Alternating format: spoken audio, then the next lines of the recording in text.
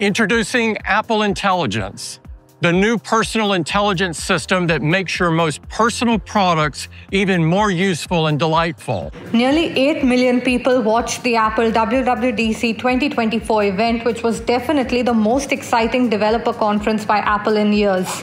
And the main reason for this is that Apple has finally joined the AI bandwagon with the iOS 18 update and the updates to iPad OS and Mac OS, though what they're calling it is a personal intelligence system called Apple Intelligence. Competitors like Google and Microsoft have been rolling out AI features at a hectic pace in the last few months, but Apple has a loyal fan base, people who were willing to wait a little longer just to get AI features on their iPhones and of course their iPads and Macs. And Apple really hasn't disappointed. They've announced a slew of cool features that they call useful, personal, and relevant, which don't compromise user privacy.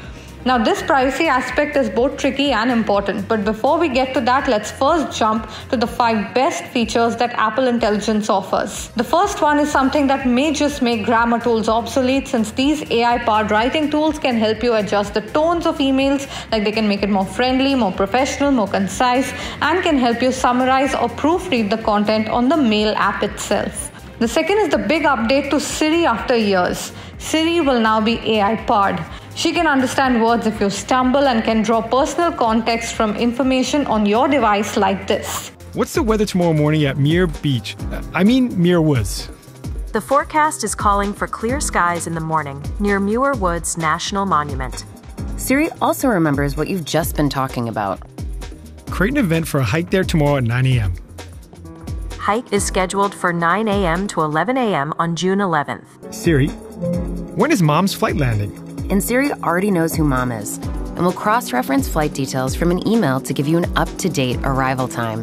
For the first time, you can also now type to Siri instead of just talking. And Apple is using AI so that more important notifications get prioritized on top. In fact, iOS 18 brings ChatGPT integrated into Siri with users getting the option of accessing GPT features through Apple's chatbot.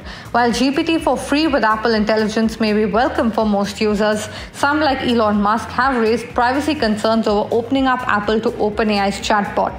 However, Apple says there's a dedicated set of servers that power the AI features but ensure that they don't store users' personal information.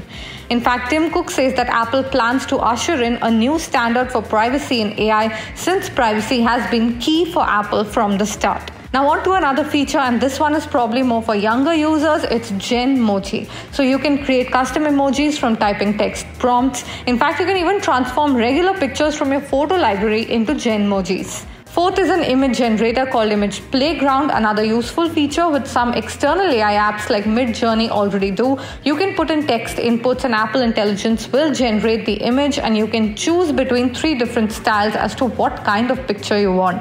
If you're interested in AI features for iPads, one nice one is that you can convert a rough sketch into an image by just circling over the sketch using an Apple Pencil, and then you can add more context for a better image iOS 18 itself also offers other features besides AI with more customization options, the biggest ever redesign of the Photos app, and the fact that users can now arrange apps and widgets wherever they want on the home screen. A feature that Android, by the way, has had for years now. Now, will all iPhones and Apple devices get these features? Well, of course, not as expected. It's only those devices with Apple M1, M2, M3, M4 chips and A7 Pro chipsets which will support the new AI features.